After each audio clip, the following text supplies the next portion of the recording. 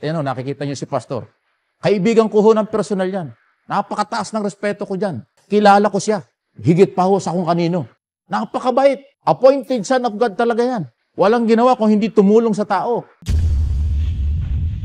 May patunay ang kampo ni Pastor Apollo C. Kibuloy ng pagiging bias di umano ni Senator Risa Hontiveros. Dumulog na kamakailan ang kampo ni Pastor Apollo C. Kibuloy sa Supreme Court para iprotesta ang contempt order ng Senado laban dito. Ayon sa kampo, walang rason para sumipot sa hearing ng Senado si Pastor Apollo dahil sa mga mapanirang payag ng mga fake witnesses daw ni Senadora Risa Hontiveros. Malinaw kasi mula sa mga salita ni Hontiveros sa kanyang Senate Resolution number 884 na hinusgahan nitong guilty ang butihing pastor. Walang pasubali na nakasaad sa resolusyon na may krimen daw na mga ginawa si Pastor Apollo dito sa Pilipinas at ang mga krimen ay nangyayari at ginagawa sa kasalukuyan. Paliwanag naman ni Attorney Elvis Balayan, isa sa legal counsel ni Pastor Apollo, hindi nang iinsulto ang kanyang kliyente sa pagliban nito sa mga pagtawag ng Senado dahil kung lilitaw ito sa mga hearing, tiyak ipapaya lamang doon ang butihing pastor. Personal knowledge doon sa mga witness na yon at based din sa mga payag ng mga tiga-kingdom of Jesus Christ. Maraming mga inconsistencies yung mga sinasabi ng mga witnesses na ito. Maaari ba silang makasuhan doon sa kanilang pagsisinungaling attorney? Yan, papasok yan sa mga criminal perjury or false statements. Yan po ay covered ng ating batas. Pag ikaw nagsinungaling under oath, ikaw yung mananagot. So I think at the proper time, yung mga abogado ni pastor o yung mga naging subject ng mga ganyang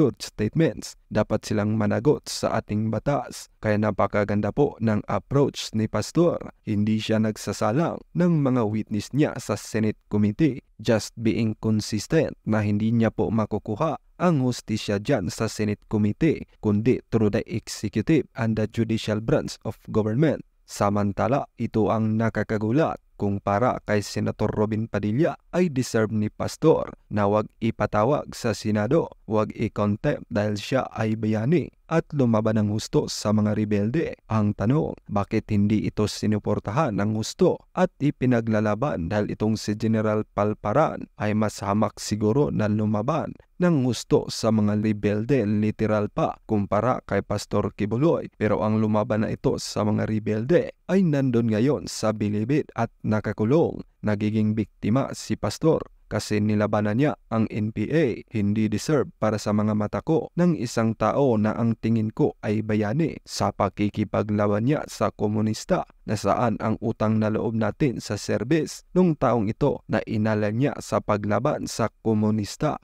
Kahit sino ay alam naman siguro na noong nakaraang eleksyon ay naging pabor si Pastor Kibuloy sa kandidatura ni PBM kaya nga ang SMNI lang ang naging isang istasyon kung saan dumalo si BBM para sa debate. Pero kahit ganun pa man na pwedeng masabing may utang na loob, si BBM sa pastor ay hindi ginawa ni BBM ang tulad sa ginagawa ngayon ni Senator Robin Padilla. Ito ang payo ng presidente sa pastor na dating sumuporta sa kanya noong nakaraang eleksyon. So wala pong idea ang ilan kung nasaan ito kaya medyo mahihirapan po ang pag-aresto dito kay Apollo Kibuloy tuloy lalo't walang idea kung nasaan itong nagtatago. Ayaw din namang magsalita ng abogado. Siyempre naman, pinagtatanggol nyo ang kliyente nyo. Bakit siya ilalaglag kung ako kay Pastor Apollo Kibuloy? Kusa na lang akong susuko kasi bibigyan pa ako ng proteksyon nitong si Senador Ronald Bato de la Rosa. So hindi siya masasaktan. Hindi man direktang sinabi ni Senator Risa Ontiveros na dismayado siya sa mga kapwa niya senador na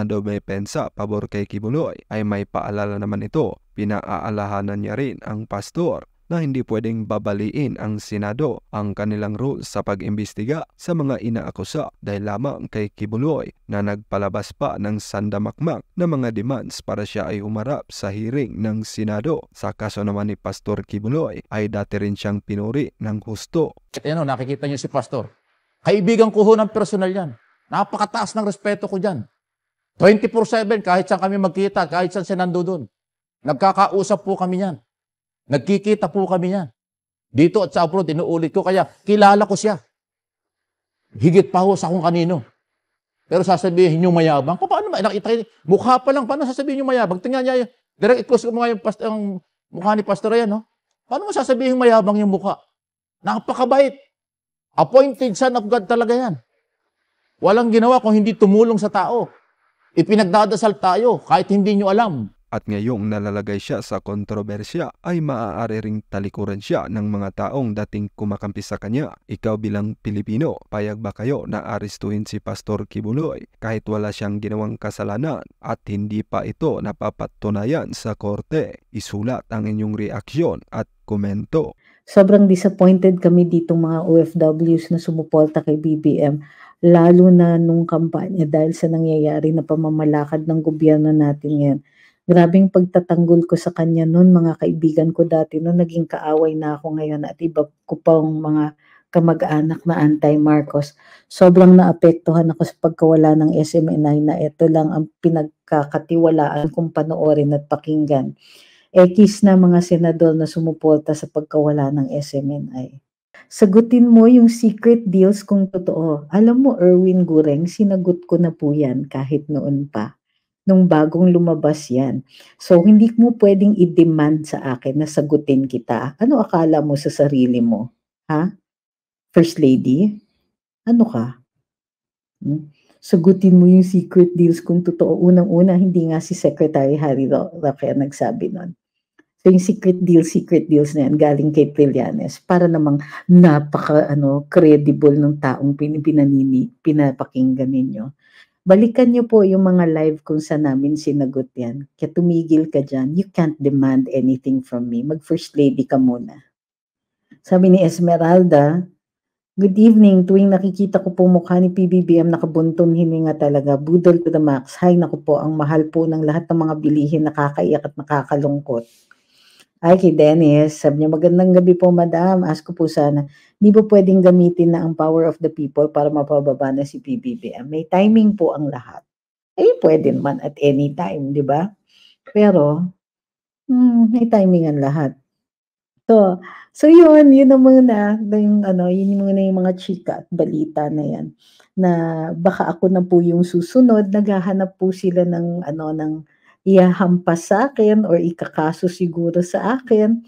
So if something happens like that, I want you to know na you know, we saw it coming. We saw na ano, nahanap pa rin, nagpo-probe sila na nagpo-probe ng pagkakataon na ano, na gumawa sila ng something uh, against me.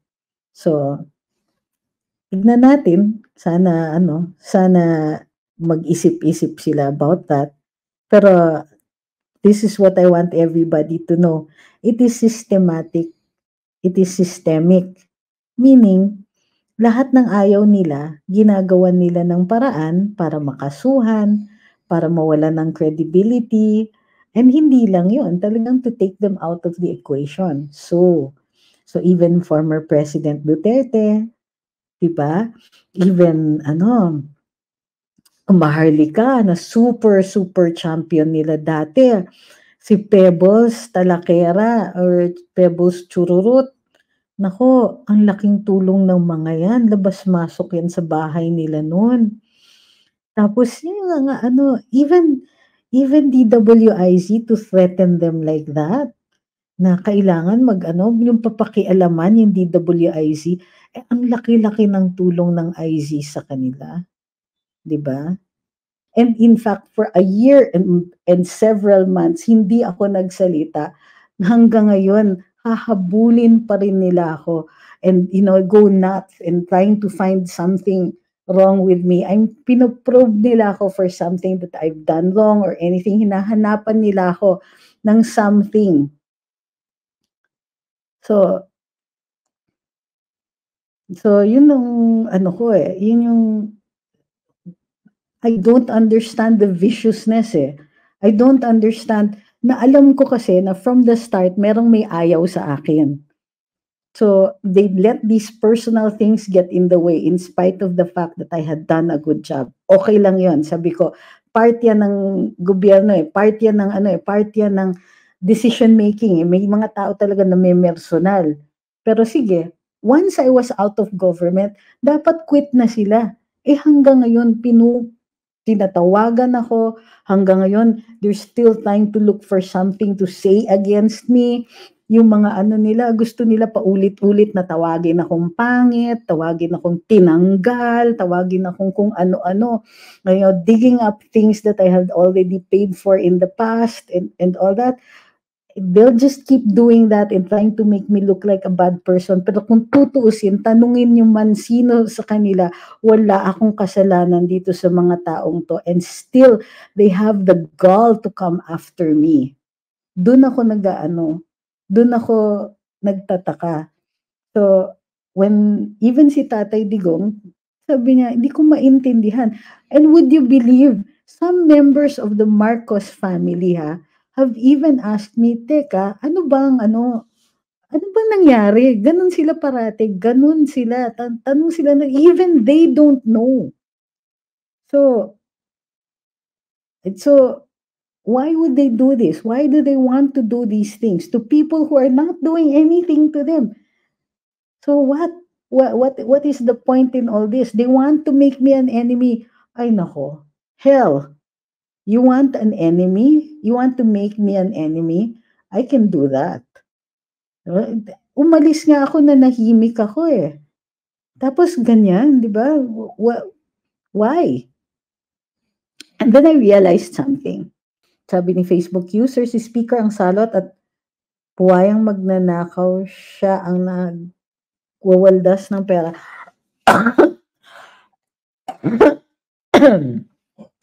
pambayad sa maswapang na congressman. Si BBM, walang pake sa mga AITA at IP at katutubo na pinangakuan niya last election, naghihirap. Ay.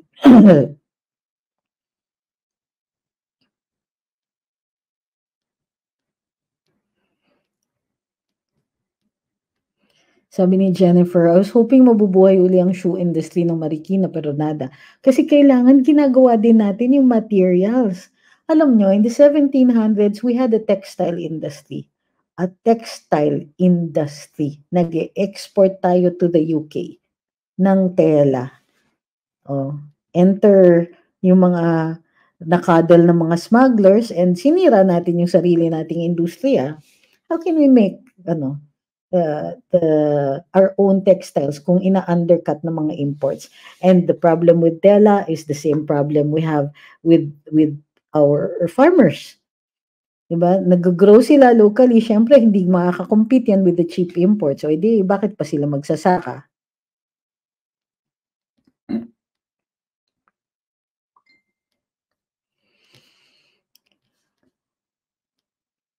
Sabi ni Rika, didn't Sandro work at the office of HSMR before running for Congress? I couldn't trust Sandro if he were to run for a national position. Uh, it wasn't him, it was his brother.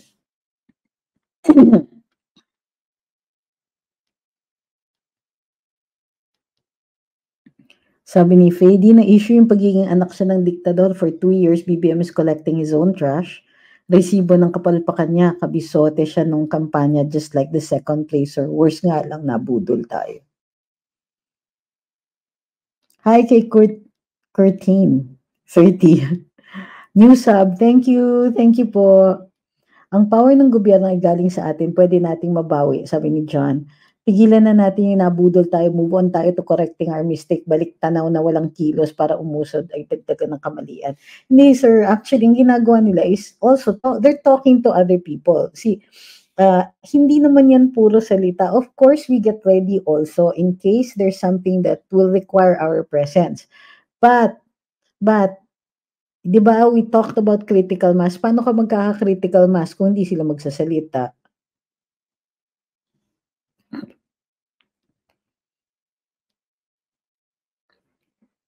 Hmm. Ito, sabi ni Millet, nung si PRD ang ini-interview ng foreign media, nakakatuwang panoorin dahil ang ending ay parang nagle-lecture si PRD. Ang dami nating napipick up then ang foreign media is either tameme na lang or na-amaze sa intelligence ni tatay. Nakaka-proud lang. Totoo yan.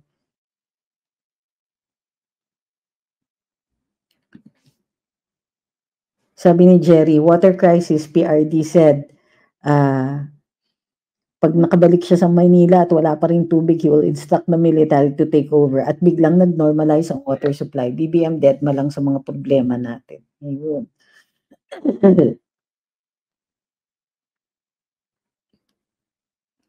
Sabi ni Rene, dati nakikita yung picture ni Pinoy na parang waiter na nagiintay kay Obama.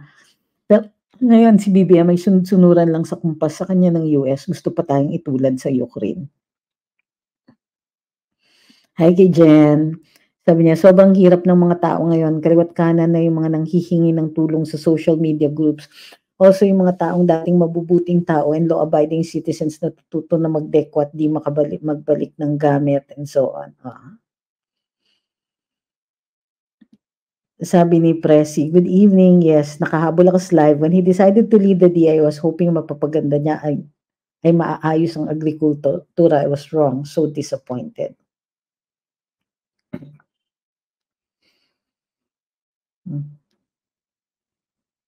Sabi ni Dog, I love Rose, yung yaya nga daw ni BBM ay undersecretary niya at walang natapos. Yeah. Sabi ni ano ni Omar, uh, do consider yung endorsement ni Lloyd Byron Cristobal aka Banat Bay kay Tatay Digong during your meeting with Pastor Kibuloy to run for Senate position. Uy, kasama ba ako doon? We really need someone like you, honest, intelligent, may prinsipyo sa Senate po at kaaway ng isang hindi official na nasa Malacanang. Watching from Baguio City, FYI, I'm already 66 years old but still young at heart. A PWD and a stroke survivor. Ingat po lagi. God bless. Yes, sir. Um, thank you, sir. Actually, I appreciate it when people think that I'm Senate material. But the truth is, um, I would be Senate material if I could afford the billions that it would take to run for that position. Let's get real, guys. Hindi, yeah. We we are going we're going to need a lot more than just one oligarch or two or three to do that. But I am very happy being here with everybody. Sabi ni Prime Courts, for me, sadyang incompetent lang talaga ang presidente. Sabi ni Ma'am Joan, akala ni BBM porket kakampi niya ang Australian government, the media will be lenient to him. I think that they have been ano, manipulating local media for so long, akala nila ganun din sa abroad.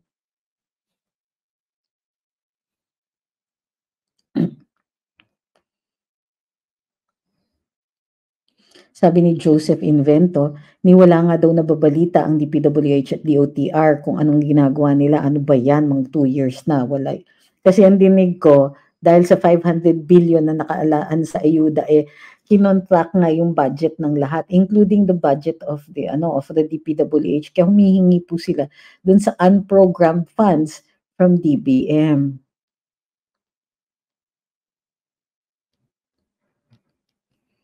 Sabi ni Patty Defensor, PBBM employs people with questionable educational credentials because his own educational background is also questionable.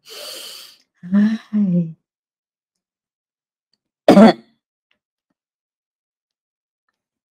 Sabi ni Omar, just do remember itong gulo-gulo in the Congress headed by Tamba at sa Senado kay Madam Chair Hontiveros ang wrong accusation of Pastor Kibuloy are all because of Taning or Satan. There's always a battle of the minds between good and evil. All the accusations are just forces of evil. Yeah, I understand that. Alam niyo yung what gets to me? You know what gets to me? For me, one of the worst sins of this admin is the hiring of trolls to ano to perpetuate misinformation. And yung misinformation pa niyan, talagang tinatarget niya particular people. Tinatarget nila, diba? Di, tinatarget nila lahat ng taong opposed sa kanila, yung mga critics. Ah, ganun. And what, what is that? Naiintindihan ko yung patasan laban. O sige, government is powerful because you know, they have all of the resources. So, bakit hindi na lang sila mag, ano, mag press briefing to, to tell us what they're doing right? No, they don't do that. Instead, they hire trolls. Instead, they threaten the mainstream media. You know how they threaten them? By doing what they did to SMNI. So all the, all mainstream media has to do is look at SMNI and think, shucks, we can't speak like that. It's called ano, the chilling effect.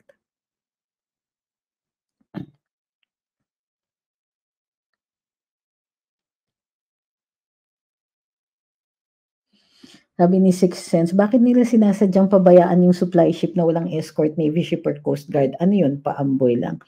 Ah, well, wait, wait, wait. To be fair, ha? Kasi ang Navy ship, wag Navy ship. Kasi ano yun eh, medyo aggressive action yan.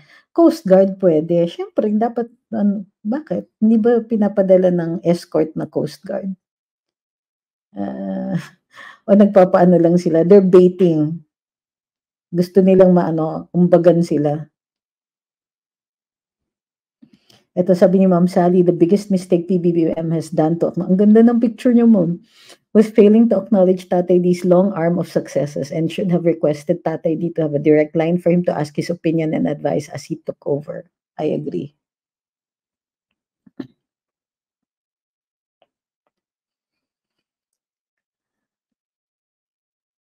Obvious na bayaran kagaya ni CJ. Nag-unsubscribe na ako months ago nung obvious na sinisiraan na lang si VP Sara and FPRD.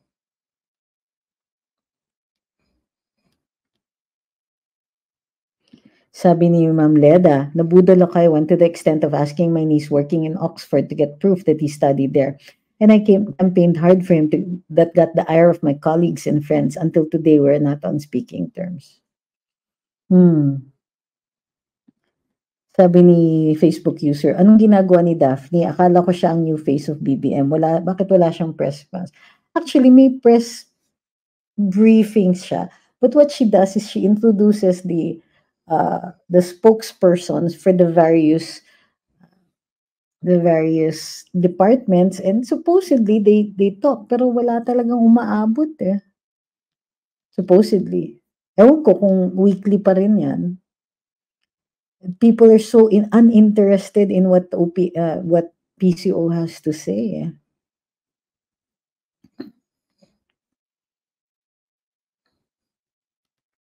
Sabi ni JM, support kami mga slap soil, count as in, sama kami sa'yo.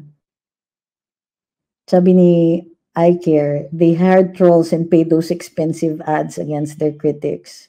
Sabi ni Ma'am Maria Alas, ako di duty ako caregiver ng Japan at shout out sa mga matipuno na caregiver sa Japan. Yes! Wow, ma'am, na ano kayo? Na, na hire kayo under JPEPA. Ang galing nyo. Ang galing nyo. Ibig sabihin, ang galing ninyo sa, ano, sa Japanese language. Believe ako sa inyo.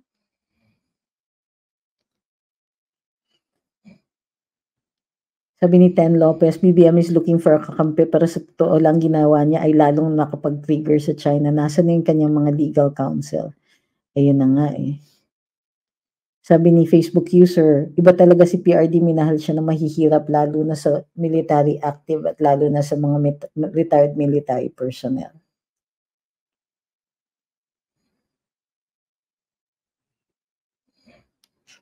Sabi ni Six Sense, sinagot ko si Anthony Taberna, hindi ko kinaya paninira niya kay VP Inday. Hindi naman reflect din sa opinion ng INC as a whole. Ay, hindi po, wala naman pong ano eh, wala naman po. He's not the spokesperson for the INC. And besides, the INC uh, rarely makes statements.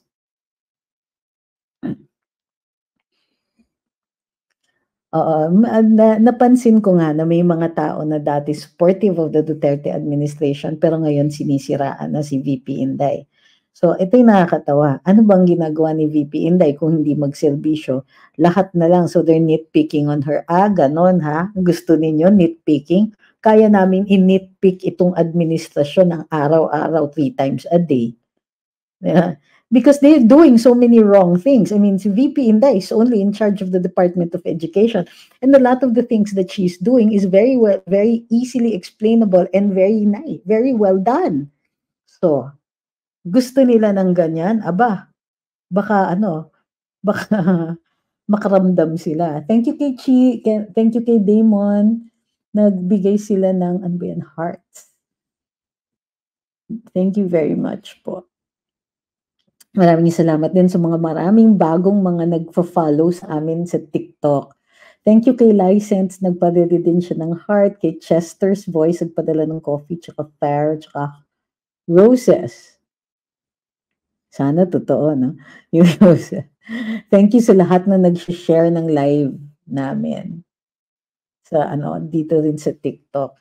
Pero kung gusto niyo po mag-comment, dito po tayo sa YouTube. Mas marami. Ano, mas ano, ma, well, dito allowed lahat eh.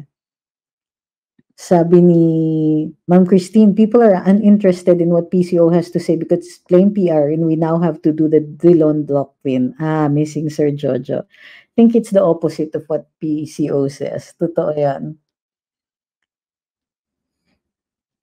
Sabi ni Manuela, nakakaiyak ang post ni KLC about sa groundbreaking ng classroom na parang sa mga batang abuse victim na gift to Tatay Digong. Yes po.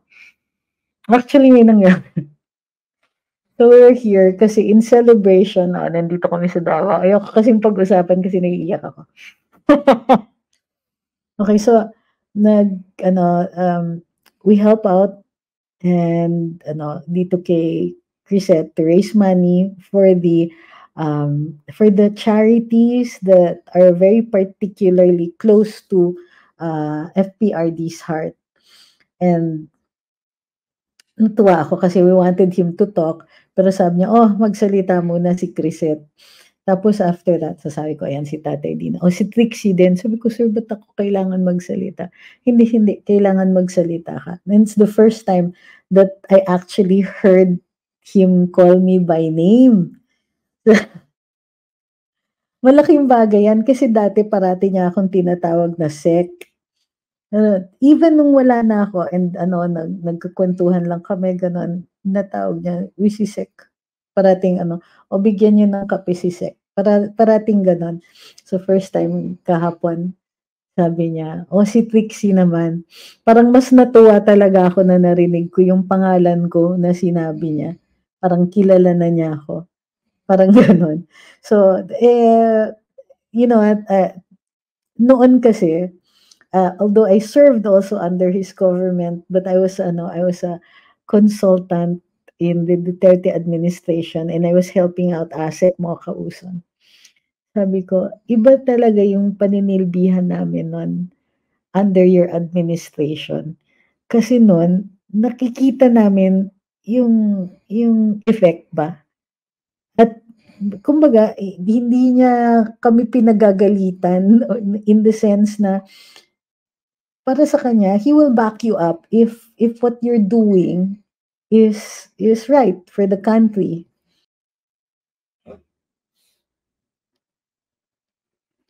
Sabi ni Faye, nabudol tayo kasi yung campaign magaling ang mga nagtuturo sa kanya. Nung pinagtanggap nung pinagtatanggap nila, sila sila nagkalat. Pinagtatanggal. Sabi ni Sarina, amazing lang yung issue about sa pamilya nila sa tatay niya na hanggang ngayon parang surprise pa rin kapag natatanong siya about it. Dapat himay na siya. Al- uh, alam nyo, sa totoo lang, he has been coddled. Um, he has been protected for so long. And that's that was the danger with his father. Ang tagal-tagal na in power na there was a point where he was no longer in touch. And that is the problem with any leader.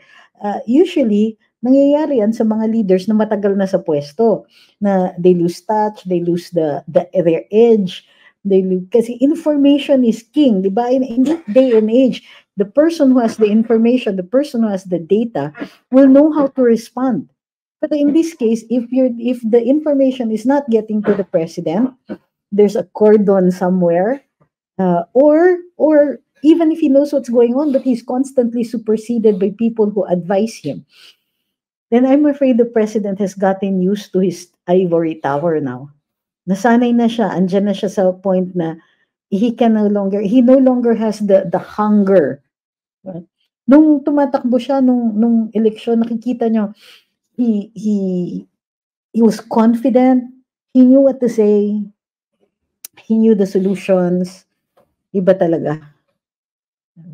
Magaling talaga. Parang parang ano yan eh, parang ah alam niyo yung how yung mga ibang artista they have to prepare for a role so they they learn the moves they learn the ano so what if this artista is preparing to ano portray an athlete Yan.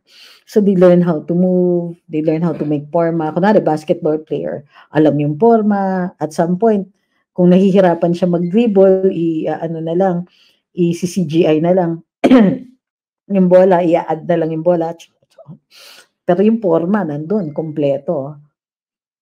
However, di ba, hindi, you can't expect that same person to compete with other athletes pag andyan na. Magaling siya sa acting, magaling siya sa forma. Yung bola, tsaka yung pag-shoot, yan, ano na yan, CGI na yan. So, parang ganun ang nangyayari. During the elections, all you had to do is make forma. Eh. Tapos, after that, when it comes to the actual governance, ay, yung lala yung lalaki ko nagtalunan kami kaya daw ang kaya daw yung gera na propaganda paninira daw sa presidente para matakpan yung kaso ni Kibuloy at sobra daw kurap ni Digong. Bakit hindi buong Davao umunlad? Bakit, bakit hindi buong Davao umunlad? So natatawa siya. So, Baka baliktad, kaya may kaso si Kibuloy para pagtakpan yung kanilang corruption. Di ba? Kumbaga, what's good for the goose is good for the gander. Sasabihin nila ng ganon. Eh, paano kung i-apply natin sa kanila? Hindi ba? At sino ba yung talagang pressing na matter? Sino ba yung nag, ano, nag-allocate ng limang daang bilyon para sa so-called ayuda na hanggang ngayon hindi natin alam kung ano ang standards ng mga yon. Sabi ni JM, for the first time na feel ko yung politicking, I don't even understand the, the words, pero sa ginagawa nila ngayon kay PRD at kay Inday, oo. Eh, ito nga eh.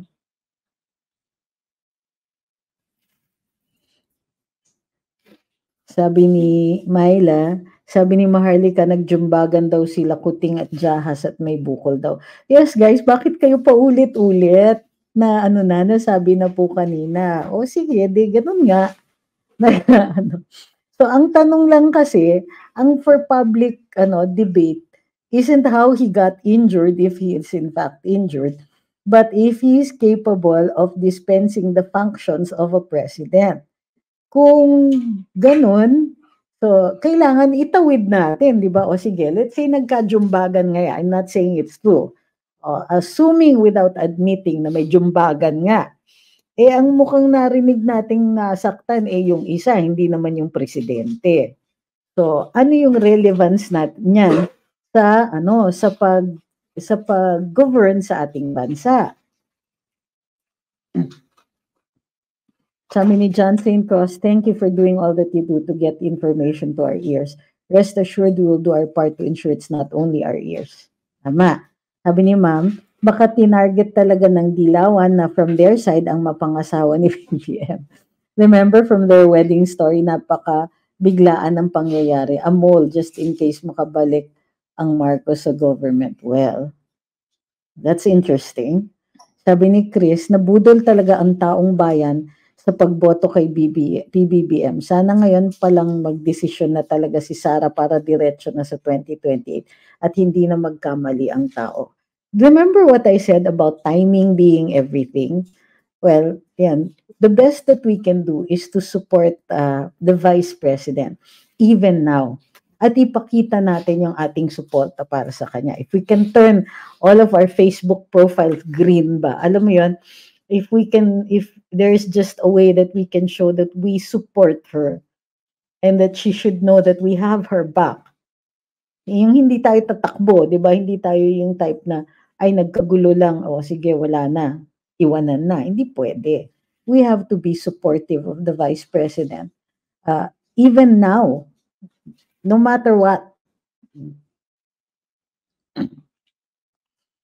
Sabi ni Sheila, pwede bang ipagbawal ang pag-rally? Di ba nasa constitution naman? Opo, ang bawal, they, but they can restrict. So, ang local government po ang may jurisdiction sa pag-restrict niyan sa uh, sa time, date, and place. Yun lang po. So, pwedeng, uh, pagka sa Freedom Park, hindi yan pwedeng pigilan. So, ang Plaza Miranda, if I'm not mistaken, ang Liwasang Bonifacio is a Freedom Park. So ang ang uh, Rizal Park, I understand is also a Freedom Park. So dyan pwede yan anytime. Mm. Sabi ni Felix, para na rin silang dilawan yun yung gawain dati basta tingin nila malakas ang kalaban sa susunod, tirahin nila ng tirahin.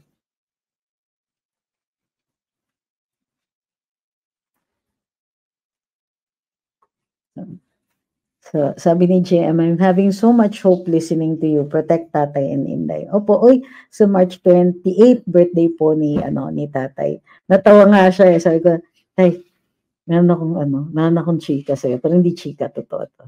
So, ano, daan nagchichikan kami ng gano'n. Tapos sabi ko, and one final thing. Sabi niya, oh, ano yun? Kala na naman niya, may seryosong sumbong na naman akong kung anik-anik. Magkasunod tayong birthday. Ah, tuwa siya. Ganon ba? Sabi, uh, so, sabi ko, kasi magkasabay kami actually ka-Absec Evasco. So, si former ka-Absec June Evasco, March 29 din ang birthday. So, huwag niyong kakalimutan yung mga kailangan yung batiin, ha?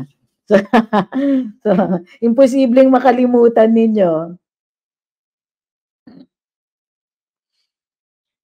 Sabi ni Gilbert, no more Marcos in 2028. Solid PRD, VP Inday, and Senator Go. Sabi ni Kalyeng, 72. Kakata- Katapos lang ng fiesta sa amin at narinig ko sa speech ng aming congressman na nakahingi at napagkalooban daw ang aming bayan ng 200 million para sa infrastructure. Naalala ko si Tamba. Anong magagawa daw ng 200 million at ano daw pagagawa sa 200 million na yon? Sabi ni Rika, what's the news regarding ICC versus PRD? Okay. Uh, NVP ISD et al. Sounds like a distraction to cover lang the PI moves of the HOR. Well, yes, among other things. Hindi, alam naman natin na susubukan at susubukan ng ating gobyerno ang ma- out of commission ang dating Pangulo. Eh kasi kung tirahin lang niya ng tirahin itong current government, edi think of the kind of civil unrest, di ba? Plus, mamimiligro talaga yung leadership. So, they have to figure out a way to do it permanently. Kaya lang, mapapahiya naman itong si, ano, si Pangulo kasi pinangako niya na not an inch of territory. Ay, mali. Ano daw, pinangako niya na hindi na daw talaga makakapasok ang ICC dito. Ah, let's see kung may isang salita siya. But I understand yung pangamba ninyo.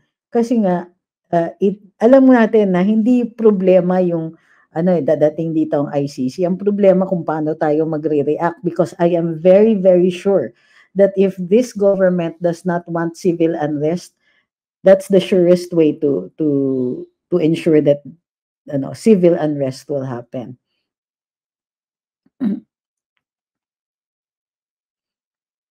Hide ka na lang, President, sabi ni Sofia. You know that former president will never do that either. Sabi ni Piki Patch, watching from Iloilo, ang katahimikan ng mga dilawans only says na nakikinabang sila sa sitwasyon ngayon. A- ako, I have, ano, I have dilawan friends and ano, dalawa ang tingin ko nangyayari. There are some na nakikinabang. Eh, syempre, they're playing the ano, alam nga naman, another six years silang at di ba? Pero merong iba na they don't care about either side. They don't like the DDS and they don't like the loyalists. So para sa kanila, wait and see. So hindi po lahat ng ano, I mean, of course, hindi lahat ng dilawan makikina, nakikinabang. Sabi ni Ma'am Mima, ay Ma'am Mima, tagal na kita hindi nakita. You know, attorney, I have several friends who were anti-PRD before, but I was surprised that they now uh, ask all the good things, back the good things PRD has made them experience and how glaring the incompetence of PBBM admin is now. Naku, sinabi niya. you know what? Not only that, ang, ito yung impression eh, talaga, na, and, and this is important for us to say it's it's the it's not just the incompetence it, and the failed promises and all that you know we've had incompetent governments before and all you this gobyerno parang ganun ganon lang na o sige pero ngayon it's not just incompetent. It's there's this person who's incompetent.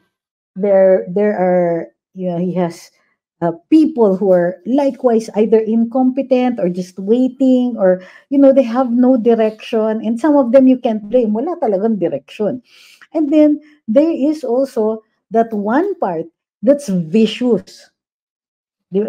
Napansin niyo ba yun? Vicious. Yung mga tipong uh, you you don't need to do or say anything if they don't like you they don't like you and okay lang if it's the the cleansing in government pero kawawa yung mga matagal na sa plantilla. Yung kawawa yung mga career na tinatanggal nila because ay si Duterte nag-appoint niyan. Yan yung mga ganyan. And then there are those na wala na nga sa gobyerno hahabulin pa. There are those na nagsasalita lang, hahabulin pa si Bill, nag, na, nagko-convince or nag, how do you call this, nagko-convince sila ng mga tao na kasuhan yung mga nagsasabi ng ganon. Yung mga tipong hindi pa talaga lumantad, talagang you, you get other people to do your dirty work for you. I have nothing but contempt for people like that. Tapos yung ano, yung yung hindi lalaban ng patas, o sige, I get it powerful talaga ang gobyerno and they are the ones in power. Pero talagang pinararamdam nila, hindi gaya ng ibang mga presidente na pag may ayaw sila, very quietly, sige, tanggalin natin yan. Ganyan. May mga ganun. They still care about how people think or what people think of them. This administration is rapidly getting to the point na they don't care. Di ba? They don't even bother to answer the issues anymore, number one. The does the president answer those concerns about the, the first lady? Does he answer the concerns about his own state of health? And I'm not talking about the flu. Diba? Oh, what about yung, yung, yung lack of progress on things like uh, food, water, electricity, transportation, internet? Gawin nating mantra yan. And you know what? Natutuwa ako kasi kahit sa ang platform ka pumunta, tinatanong na rin ng mga tao, nasan yung mga solusyon sa ano, mahalang pagkain, tubig, kuryente, internet, transportation. Yung mantra ng Luminous yan eh. And now kumakalat na yon And keep asking. We have to keep asking. You know why? Because they've stopped caring what we think. Pero, pag naisip nila na, oh, teka, these people are mad enough to go to to uh, to wherever it is. Yung dun sa tatay kasi Plaza Miranda eh. Dun sa uh, sa Plaza Miranda nag-start yung mga uh, rallies since the since ang tawag pa noon Nemo. Okay, since the 1960s, since late 1968, nagde-demo-demo na. Tapos all the way up till the the 70s, nagkaka-rioting and all that. And then in the 80s, it became EDSA. So, uh, ang they're, they're, they don't even care. Parang ang feeling ko, they don't care that people are angry, they don't care that people are angry and there's a momentum to the anger. Hindi sila, wala, walang pake, they don't even try to address it, ni wala man lang pakitang taong projects na. Hindi niyo ba napapansin? Walang ni pakitang tao na projects na nakukumpleto. Saan tayo nakakita recently ng mga ribbon cutting? Maliban lang dun sa ni-ribbon cutting ng mga projects ng Duterte administration.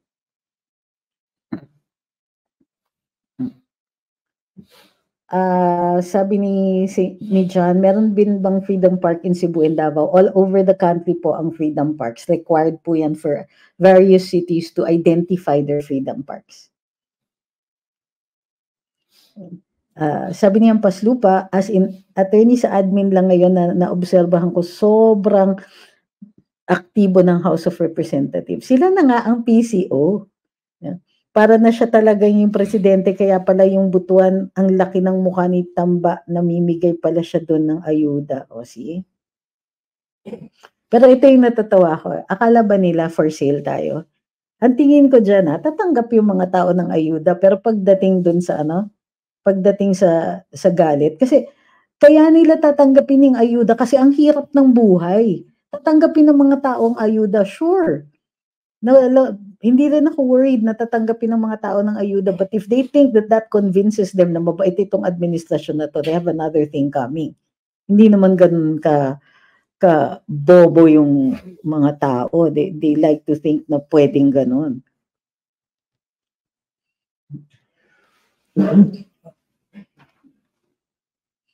Sabi ni Tonto, naawa ako kay Senator Amy kasi siya lang ang gumawa ng paraan maayos ang lahat ng accusations against her father and family name. Unfortunately, her brother does, is not helping her. Sayang yung second chance. Wala na. Eh sana noon kinaya ni Senadora na rendahan yung kapatid niya eh. Pero alam niyo yun, the, the personalities, they get in the way. Yung family dynamics nila have spilled over to the political arena And now, wala tayong choice but to watch. Ugh. Samantalang panahon ni FPRD, sabi ni Faye, sumusuka ang Facebook sa achievements nila. Sumasabog naman. Ang cabinet kilala ng tao, alam na nagtatrabaho, parang may kompetensya pa mag-perform ang bawat isa. Totoo yun. Totoo yun. So, ngayon, hindi niyo ba rin napansin, naiirita ako dito eh ah, hindi niyo ba napansin na, wow, ang ang pangulo natin, and I understand, but nainis ako kasi dito sa Pilipinas wala siyang wala siyang ano yung mga press conference niya. Walang nagpa-press briefing. Tapos magpapa-interview siya sa foreign media. O ayan, that bit him in the rear end. And you know, normally I'm not this this inis eh. Pero he knows better. Pero I've noticed this even before, nagpapa-inter ang gustong-gusto niya pag i-papa-interview sa foreign press. Bakit? Sinong makakaintindi sa'yo? Bakit may PNA naman tayo na meron tayong Philippine News Agency, may wire services naman tayo, kailan, di ba, bakit mas madami siyang interview sa foreign media ngayon? And I'm not saying that he's doing well in them, he's not. Pero bakit bakit gano'n? Mas mas prefer niya kausapin ng foreign media kaysa tayo?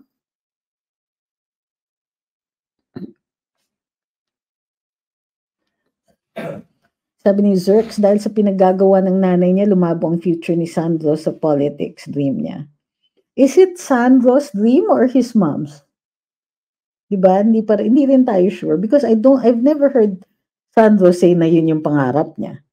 I haven't even heard the president say that. Pero there's so much talk about the the first lady supposedly uh, wanting that for her son. Eh, parang si ano, si si former first lady.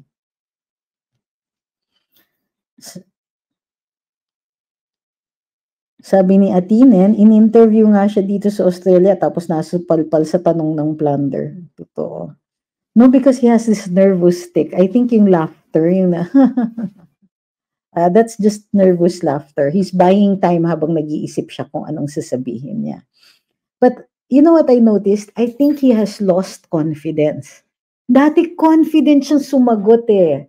Diba? There were people na pwedeng sumalo kasi sa kanya and now when he sits there and he's interviewed by foreign media, pretty much he's on his own. At para namang may competence ang PCO na ano natulungan siya. Sino ba ang nag-briefing sa kay presidente? Sino ba ang gumawa ng research tungkol dun sa nag-i-interview sa kanya? They should have known that it was going to be a hard-hitting reporter. I'm not complaining because it it affirms a lot of what everybody here has been saying about the the the lack of competence, the the I don't know, the laziness. I, whatever the the the failings of this this administration na-affirm lang by by the failure to anticipate questions like these from foreign media did he think that foreign media is going to be kind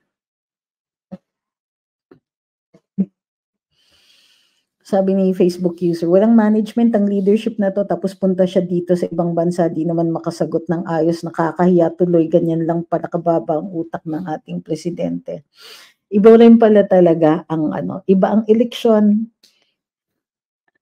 at iba ang ano, iba talaga pag governance na. Sabi ni Stephanie, I find it embarrassing pag humihingi si PBBM ng foreign investments. Why does he have to do it personally? Dami namang iba na staff. President siya tapos nag door-to-door solicitation siya like a beggar.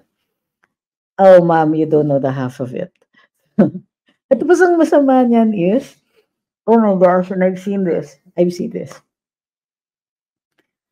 Um, he'll sit down, there people there representing various industries in, in a foreign country is going, the Philippines has so much going for it, atututu, atututu. And then matatabla siya, sasabihin ng ano, well, sasabihin, you know, we were there in the 80s, and I think you might know which company this is. We were there in the 80s, and um, the problem is supplying the, ano, the raw materials. Dun pa lang nakikita ko na lumamig na yung kwarto. Kasi anong sasagutin ng DTI? Lahat naman ng raw materials natin ini-import na natin sa China. Or if we have raw materials here, they're not yet in the form that they require. O so let's say sapatos. O meron tayo, you know, we were shoemakers since since a long time. For a long time. Pero now, even if they make shoes in here in the Philippines, we get most of the materials from China. And yung mga ano, yung mga mag uh, mahilig magpa ano ng humirit ng ng conflict with with that with that superpower. I, I wish they would think twice. Because even when do we do make stuff here, we're really just putting things together. Same with the the entire fashion industry natin relies on imported materials. So food industry natin, a lot of it is imported. And even when we grow our own food here, like yung mga kamatis, sibuyas, patatas, mga ganyan, dito yan eh, na ano, ginogrow. It, it suffers from price fluctuations or even worse, it is unnaturally high. Okay, unnaturally high, by that I mean mataas ang presyo. I don't mean another kind of high. But it is unnaturally expensive because of the middlemen, because of a logistic system that to this day has not been addressed.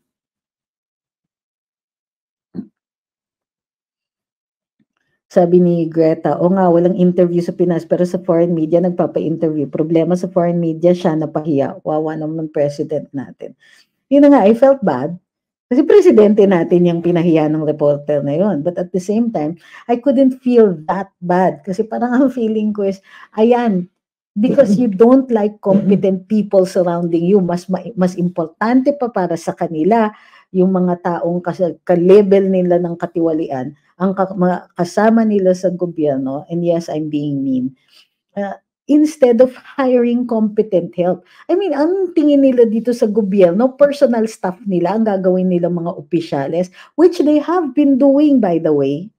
So, without any other qualifications, ha, ilan ang non-college graduates na inappoint ng ating Pangulo to positions of responsibility, directors, undersecretaries, and at least one secretary.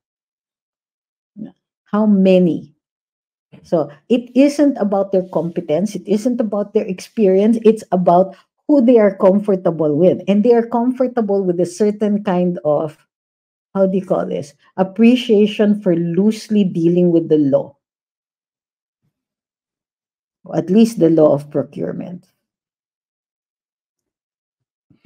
Antonio Panilaga says, ang style itong mga Marcos gugutumin ng taong bayan para aasa lang sa ayuda sa gobyerno para madaling rendahan nila susundan kung anong gusto nila. O hindi lang yon Hindi lang po yon talaga. Kasi pagka gutom, all of the time of the people are spent on trying to earn money just to live, just to survive. Gusto nila, nandun lang tayo sa level ng we're trying to survive every day. Yung humahabol tayo, yung ang sweldo natin just enough pagka nagbayad ka na ng lahat ng bills, nilaan mo na yung para sa transportation, baon mo sa pang-araw-araw, zero ang matitira. That way, hindi tayo aasenso at yung mga rich friends nila will stay forever rich. Tapos yung mga tayong mga hampas lupa will forever be hampas lupa because we will never question them when were too busy trying to make a living. Sabi ni Ruel, BBM's avoiding local media kasi ayaw niya matanong sa mga nangyayari locally sa ating gobyerno, lalo na pagtaas ng bilihan at yung pinagagawa ng kanyang pinsan and other relatives. Sabi ni Octavia, is the PCO foreign consultant confidential? We don't know the status of the foreign consultant. If in fact that foreign consultant is even formally hired. Sabi ni Ma'am Bicolanang makulit, don't, ano, please mga kasutil, don't forget to like, share, follow, and subscribe.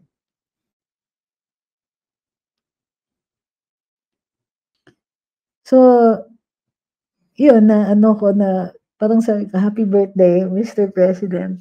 Tapos yun nga, later on, sabi ko, magkasunod tayo ng birthday. Allah! Na, natuwa siya. Kulang lang bigyan pa ako ng isa pang kape. Sabi ni John Paul, Good evening mga kasutil, advance happy birthday FPRD and STCA.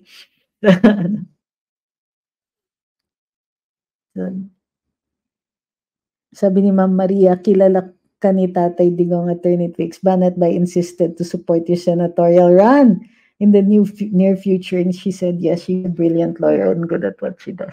Alam nyo si si Banat by ano yan eh kaibigan yan at hindi yan nakakakalimot sobrang bait din yan sa amin noon so kasi dati di ba when si Mocha was ASEC in PCOO kinuha niya kami ni Attorney Ahmed to to help assist itong si Asek Mocha. And we did to the best that we could. Eh, may politics din dyan sa loob eh. Pero, alam niyo yan, kaibigan yan si, si Byron. And, ano, and baka naman yung, ano, pagkakaibigan namin, yung, ano, yung reason kung bakit sinasabi niya yun. So, na na-flatter po ako na sinasabi nila na yun nga takbo ng Senate and all that and I am very uh, flattered to think that you think kaya ko yun na maraming nag-iisip na, na kaya ko yun. Pero really what I want to do is to help the country. And it doesn't matter whether I'm in position in government or not. Alam nyo kahit yung pagiging secretary hindi ko po hiningi yun. Si si presidente talaga yung nagsabi oh sige si Trixie ang ano ang ang SEC. Because they saw naman the the what I could do. And even when I was serving up until the last minute they knew that I was doing okay so um and that's why di ba as a favor to the president not a favor but because I felt that this president deserved some time to be able to get his bearings. Wala na kami ni, ni na ESVIC, a lot of people who were very supportive and very instrumental in making government run very smoothly. Marami kaming nawala sa tabi niya. So, nung, ano, nung, nung umalis kami, I, I really wanted him to succeed. Siyempre, masakit yun if he succeeds, di ba? tapos wala kami doon. Pero iniisip ko, because he is a good man, I wanted him to succeed. Pero hindi eh. After one year, ang hirap, ang sakit isipin na, you know, there are so many good people who could help you and those good people are not with the president. So, And why are all the good people gravitating towards the former president? Alam niyo kung bakit hanggang ngayon hinaharas pa rin ako ng ano ng ilang mga minions ng gobyerno na to na kung sino-sino yung tumatawag sa akin para sabihin na bakit ganito ginawa mo, bakit ka pumunta sa rally. Oh, yes guys, balita ko sa inyo. That's why Sutil Sunday ngayon. Balita ko sa inyo tinawagan talaga ako ng isang mga minions nitong gobyerno at sinabi na, oh, nagpunta ka sa rally. Sabi ko, oh, ngayon, simple lang eh, di ba? Sabi ko, I understand na hindi na ako sec. And choosing a sec or removing a sec, that's purely with the president, regardless of who influences that decision. Pero yung hahabulin ninyo ako dun sa aking personal na trabaho in the private sector, yung papakialaman ninyo ako sa anong sinasabi ko in my own vlogs, na hindi ko naman kayo minumura, na hindi ko naman kayo uh, binabatikos without some kind of backing, is that I realized that going back to vlogging, nobody ever said na, wag ka na lang dito, ayaw na namin sa'yo. Then, when I left vlogging to, to go to government service, everybody kept saying, dito online, people were saying na, nami-miss ka namin but we understand that you have to be in public service. So, but when I got back, everybody was saying, we like you in public service, pero okay, we're happy that you're here. So yung ano ko sa kanila is this is the one thing they're not going to get. They're not going to, you're not going to get anybody telling them na, oh, I'm glad you're out of power.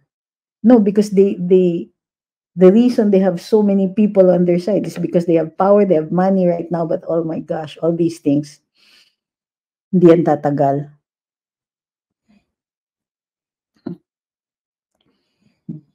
Yung mahilig mamersonal, sabi ni Ma'am Flavie, eh walang puwang sa public service, lalo na sa politics. So, th- yun, if anything happens, guys, ito yung sasabihin ko sa inyo.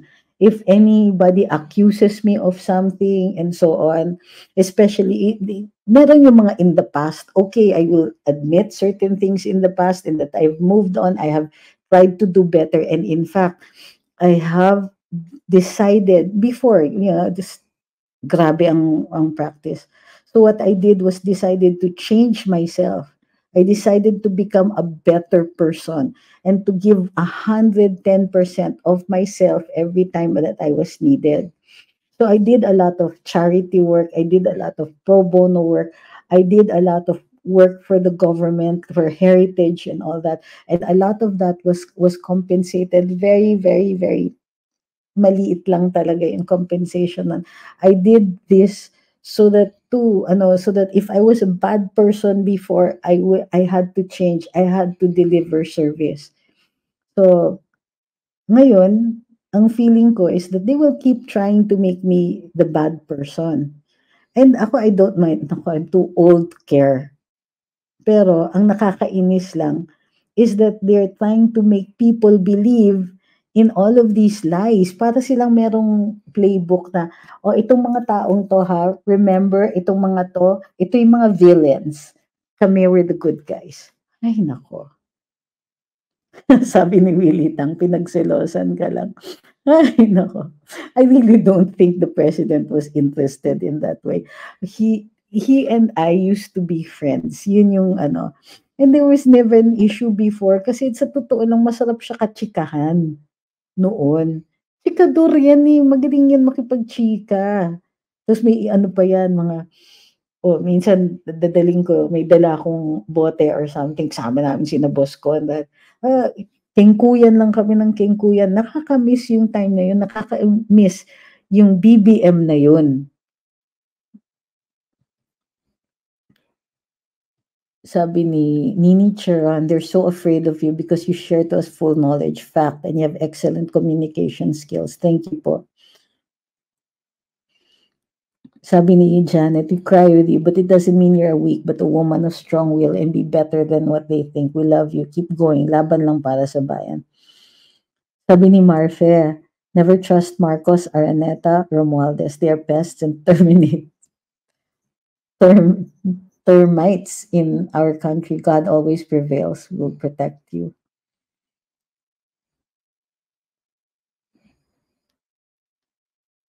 Sa, I remember Banat said, sabi ni Ma'am Maria, kapag si Attorney Trix ang abogado ng kalaban at mga police or about women abuse or child abuse, nanganginig daw yung kalaban.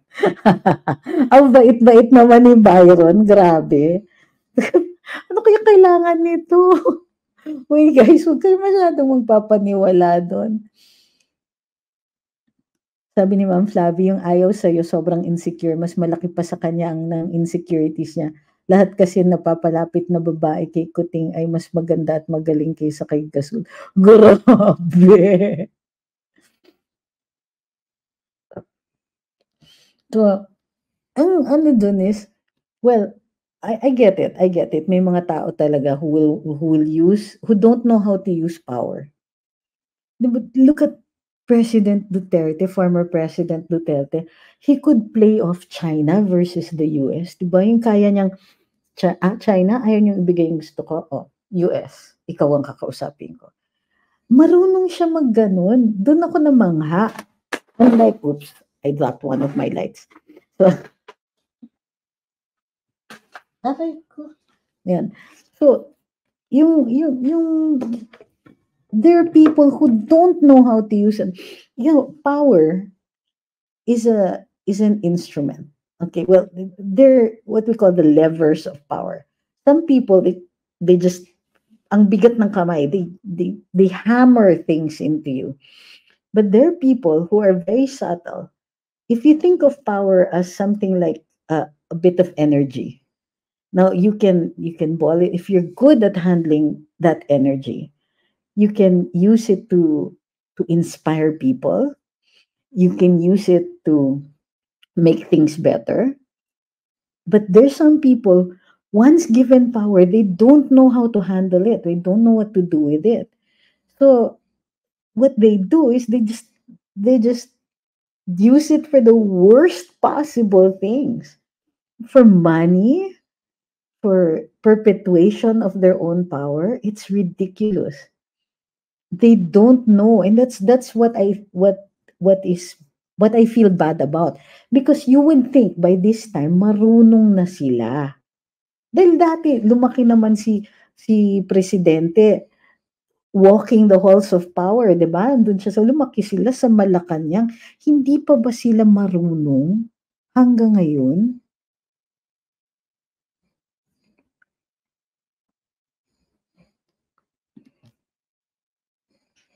Si Doc Che pala wala na rin? Wow.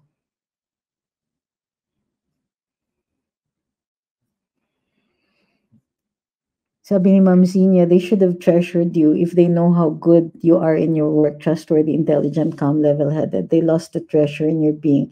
What a great loss to them. At least we have you with us. Thank you, ma'am. Thank you kay Click Stationable. So yun, yun yung ano, yun yung update ko sa inyo ngayon is that uh, hindi pa rin nila ako tinitigilan. And and this is the other thing. When I say hindi pa rin ako tinitigilan, it means na even when I went back to Karambola, parating may tawag yan. Every month may tawag na, o bakit kausap niya si ganito? Bakit ano friend sila ni ganito? So uh, y- yung mga ganyan, bakit eh, sabi ko bakit pinakikialaman pa ang buhay ko? Wala na ako sa Malacanang. And still, andyan pa rin sila. Natawa nga ako kasi doon sa ano sa Twitter ay sa X.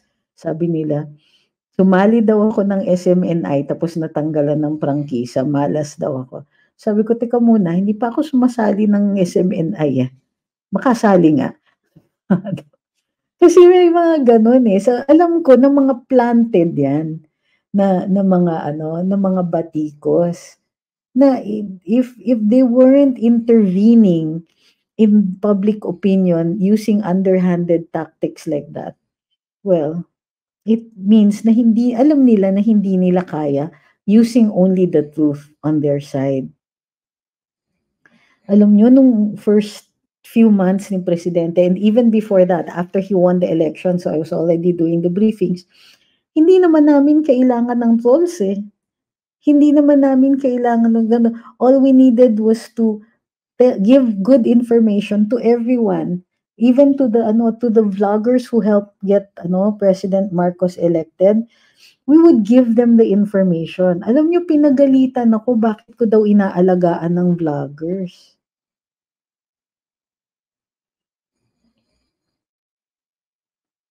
Sabi ni Flavi, si Sir Dennis Antenor daw po ay pinaasa lang na maa-appoint pero sa huli wala din at mukhang hindi daw po nabayaran. Ay, hala? Saan? Saan siya hindi nabayaran? Sabi ni Glohan Rose, diktador ang administrasyon, ayaw nilang nagsalita sa public dahil maraming gigising sa katotohanan kung ano ang administrasyon ngayon. Ayaw mo kasing i-share skincare routine ninyo. Ay, grabe. Hindi ko alam if that's really mean or just really funny. So, sabi ni Ma'am, ni Aling Mir na sobrang marami po troll sa X, ang toxic doon, kaya di ako tumatambay. Nag-visit lang ako recently sa X dahil sa Russia issue. Ako din. Meron kasi magagandang postings, pero yung for the locals, ew. Ah, pinangakuan siya na Yusek? Ay, wow. Oh, wow. So yan, yan ang ating gobyerno ngayon. Alam nyo, every day I keep hoping na maybe there's a chance for them to change. maybe, 'di ba, in the end, baka baka may matauhan diyan. Pero sa totoo lang, with every passing day, I don't think it's going to ever change. Eh, ito yung problema. You know, I I don't mind na ano, na they think that I'm relevant enough para, ah, you know, alamin nila lahat ng mga activities ko. Pero one of these days, aabot dun sa punto na everything that I have been holding back will just come out. Sabi ni Gerald, nagalit nga si Mr. Conrad dahil may nag-comment bakit daw di pinag-uusapan na pagtanggal ng prangkisa sa SMNI at yung pag-contempt kay Pastor Kibuloy. Pinahapyawan niya sabay sabing, "Masaya na kayo? Bakit daw kailangan pang pag-usapan? Malayo daw sa concern ng bayan. Ano na nangyari sa Karambola hosts?" Ay, grabe.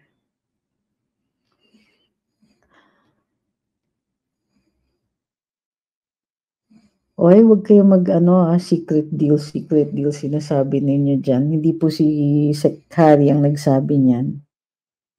Sabi ni Ma'am Marie, Maria Marie